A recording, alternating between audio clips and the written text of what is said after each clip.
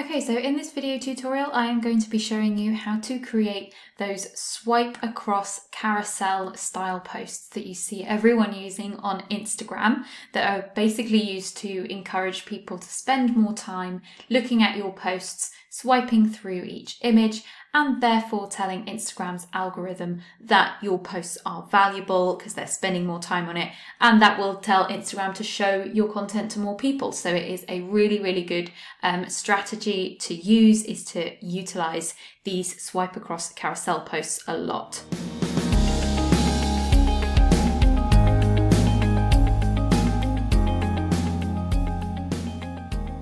So thanks again for tuning in to this video tutorial. Remember to give this video a thumbs up if you like this kind of content and hit the subscribe button if you would like to see more videos from me.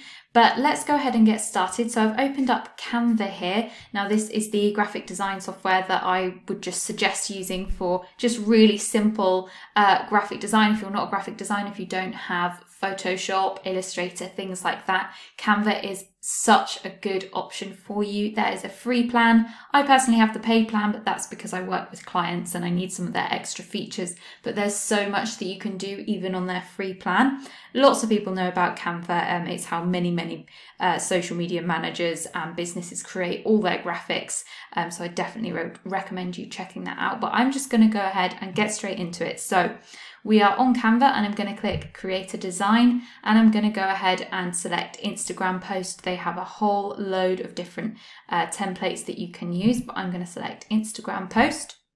And then you'll see here on the left hand side, they've got some kind of uh, Instagram uh, templates that you can just click on and it will populate here. You can click on any element to change the colors to fit with your own branding and do what you like. Uh, with it, you can replace these photos as well um, with your own photos, edit the text, change the fonts, all kinds of things you can do with their um, pre-made templates here. Um, but what I'm going to go ahead and do is actually start from scratch. So just going to highlight everything in here, click delete. And this is the background color um, that they've added for me, but let me just delete this so that I can show you how to do that from scratch. So basically to add a background color, I'm just going to click on the background and then click this color wheel here. And I'm just going to choose uh, one of my brand colors, which is loaded in because I've got the premium plan, but you can just click on new color and type in your brand color codes there. I'm just going to click on that. So I just wanted this really faded grey um, uh, colour in the background. Then there's loads of different things I can add. So I can add photos uh, from their stock resources. I can add loads of different types of elements as well, such as little illustrations, um, image grids, that I can populate like so. Uh, there's loads you, you can do with it, but what I'm just going to do is go ahead and just add some text. Um, click to add. That is preloaded into my brand fonts, but all you would need to do if yours aren't in there is just double click on this and select your fonts. Um, even the free version on Canva has got loads of different fonts to choose from, but I do have a little bit more, um, a little more options uh, with my uh, paid plan, but you don't need it. So I'm just going to go ahead and put together the kind of first uh, photo or the first graphic that is going to be part of my carousel swipe along style post on Instagram. Um, and what you really want to be doing is making sure that this first uh, graphic definitely pulls in people's attention and actually encourages them to swipe.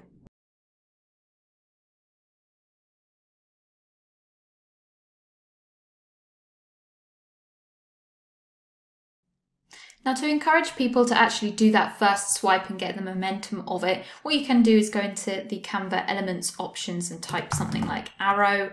Um, I'm in caps lock for some reason, but you could um, use any of these kind of like little arrow graphics here that they've got to kind of indicate that people need to swipe along. Again, you can change the colors to fit your brand colors really easily. Um, the way that I like to do it is add like a little tab. So I'm going to go ahead and cancel that and just pick up a square block. I'll just go into shapes to find that. And just put a little tab here at the bottom with some text over it that says swipe.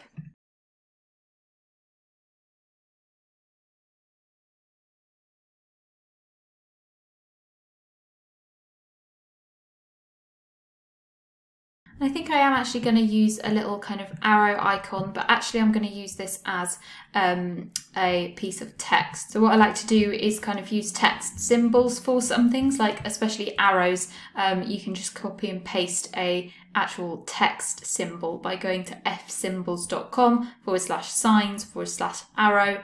I'm just going to copy that and then go back to uh, Canva here and just paste that in where the text would be. And then it adds a little arrow there. So that's how I'm going to create my little uh, swipe feature there.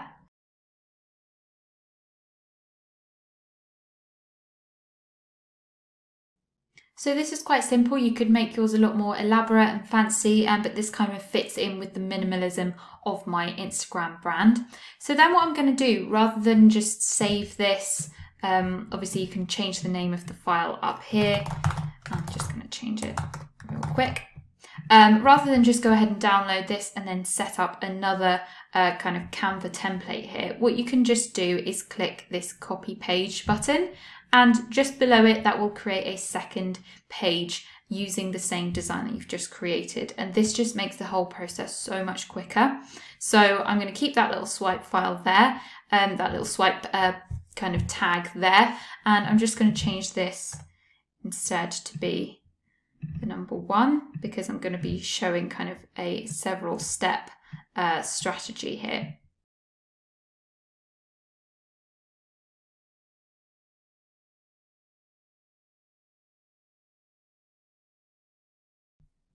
So I just uh, changed my mind for using the number one, but I still kind of have this uh, step one text here, which just demonstrates to people this is just the first of several steps. So you're going to want to keep swiping. And then I'm just going to go ahead and search for some um, different kind of design elements that I can add to this as well.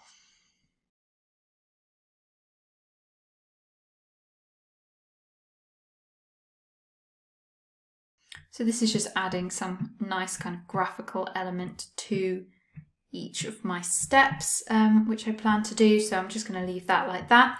Then again, I'm going to go in and click copy page, but this time rather than just leaving one swipe tag there, I'm going to add another one um, just by selecting both of those uh, elements there. And I'm going to click duplicate up here, and this will just copy both of those elements for me and then I can drop that in on the other side to encourage people to swipe. Now I'm going to go back and find uh, the other direction arrow icon to paste in there um, and put it on the other side of that text. So this just reminds people that they can either swipe backward or forward. You don't have to kind of include that. You could just keep it um, encouraging people to swipe forward. It's completely up to you how you want the design of this uh, to look basically. But I'm just going to go ahead and fill in the content for this step now. I'm actually going to upload a photo that I've just uh, taken from my phone and sent over to my laptop as a screenshot. You can actually uh, use Canva on a, a, phone as well. They do have a mobile app. Um, so if you don't want to have to use a desktop and kind of go between the two, then that is a really good choice too. Um, but I don't mind um, having to do it all on desktop. I kind of prefer it. It's completely up to you. Okay, and then again, once I finish that, I'm going to click copy page again. The swipes are all fine, that is great, and I'm going to create my third step.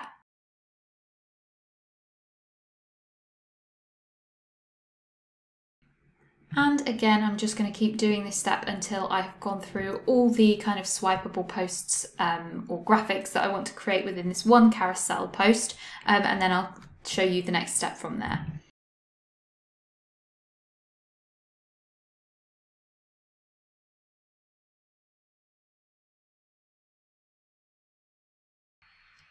So I've created all five of my steps now. You can have more than that. You can have up to 10 um, images or graphics within one carousel post. Um, but I'm just going to create kind of a last final page. So I'm going to get rid of that um, swipe forwards option. So uh, just to tell people that the main way I want them to go now is backwards.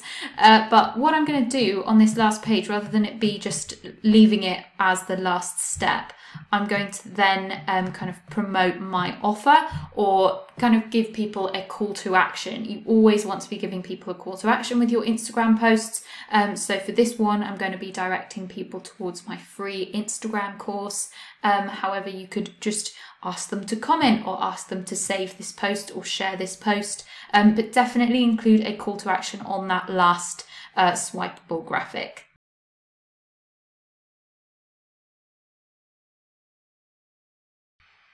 Okay, so I've added in the call to action now, so all of my steps are all ready for me to basically just go ahead and download these. And if you click the download button, what it will do is ask you if you want to download all the pages. And when you click download, it will then go ahead and basically put all of these as separate files into a folder for you that will then download to your computer. So that's done that. Now it's downloaded it as a zip file. And then if I open that, all of the files are in there. Then what you can do if you are using a Mac and you are also and you also have an iPhone, uh, you can just uh, control click on these and click share and just airdrop these to your phone ready to schedule or you can load them into your scheduling app of your choice, um, which is what I'm going to be doing. But yeah, that is how to create a swipeable carousel post. When you do add them into Instagram, regardless of whether you are using your kind of uh, schedule in advance app or whether you're doing that manually, all you need to do is select the kind of multi post option there, select all the images that you want to appear in the post Make sure they're all in the right order and then just carry on as you would a normal post. And that is all you need to do when it comes to posting it. Thanks so much for watching this video. If you are interested in learning more about Instagram and how to use it and all sorts of things, including how to write engaging captions, using hashtags strategically, planning your content, understanding the algorithm, all of that stuff, I actually have a free Instagram online course that you can sign up for. There are nine really in depth video lessons on there, and it's completely free just to sign up. And I will leave the link below in the description. So definitely go and check that out.